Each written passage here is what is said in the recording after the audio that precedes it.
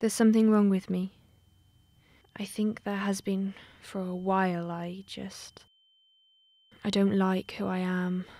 I'm not a good person. I'm unpredictable, easily triggered. The compassionate tilt of your head makes me feel unheard. The calm tone of your voice makes me feel unseen. I am a burden.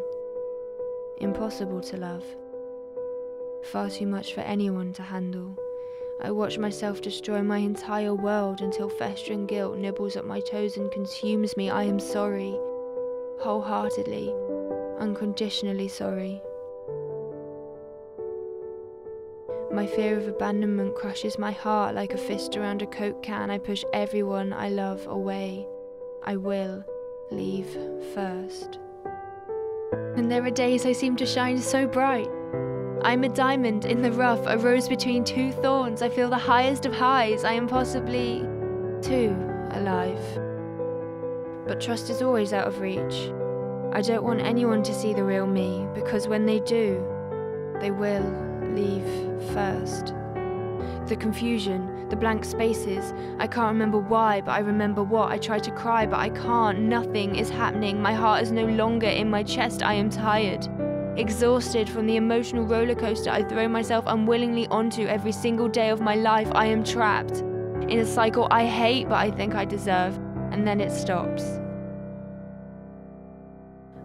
I am alone. I am numb.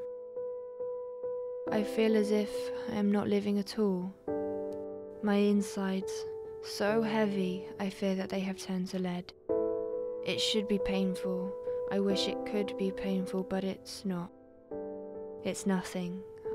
I'm empty.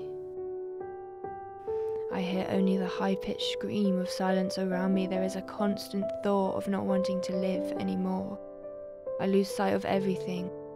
I am greeted by a stranger in the bathroom mirror. I am lost. I have no idea who I have become, of who I am now. But there is something about me, a flicker of light within my darkness, something to hold on to. Something that reminds me that there is hope, you see. I seem to care more than most, to understand more than most. I feel other people's pain in a way that makes it my own. I can relate. The battlefield inside my head has taught me kindness, and for that I am grateful. For that I am resilient. Every day I learn that I am not weak, just growing. I learn that I am a fighter, that I am courageous.